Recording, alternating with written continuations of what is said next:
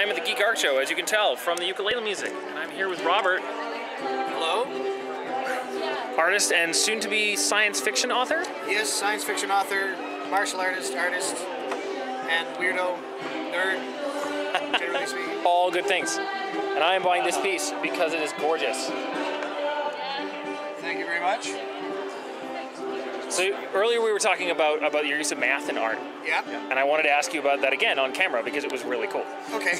Well, the thing is, is that uh, I don't believe there's a division between subjects. Uh, I believe that there's a unity to all knowledge, and the thing I really love about math is it's it's the language. It's not just the language of nature. It's the language of music. It's the language of art. And there's a connection.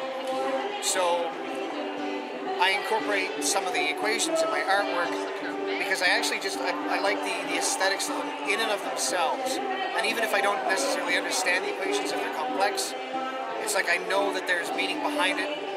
And to tie it in actually with the, the sci-fi book, if we encounter another alien species, there's going to be one thing that we're going to have in common.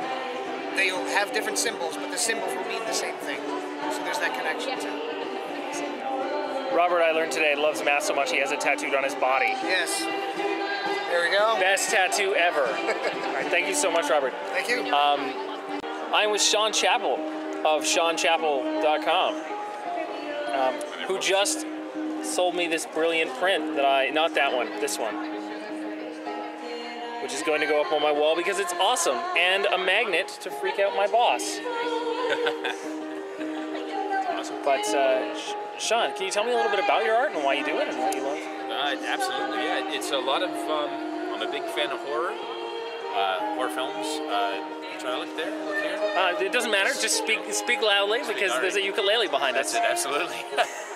yeah, it's. Um, I'm a I'm a horror fan and, and a sci-fi fan, and uh, I do I love surrealism and I love sort of free thinking. So I do a lot of lateral free association with my artwork, and uh, sometimes it's themed.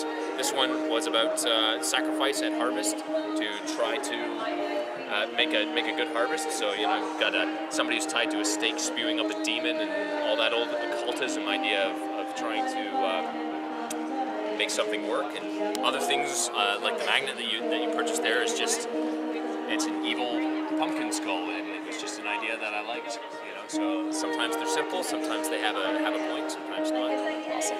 You can find all of Sean's work at seanchappell.com, and I'm so excited to hang this stuff in my studio. I am buying another print, which is Sideways. I'm here with Julie, Hi. who made it. It's awesome. Can you tell me a little bit about your work and why you do it? Um, right now it's just a hobby. I do digital art and I do character design for people who have descriptions of the characters but have no visual work. So that's what I do. And if I were to look for more of your art, where did I find it? Uh, you can find me at inputerror.deviantart.com. I'm just going to get a shot of your gorgeous prints here. I keep coming back to this one too. It, it's it's sort of half American Beauty, half Shoujo Kakumei Utena, and I really like that for reasons that I'm not quite clear on, and we're prepared to explain on the internet.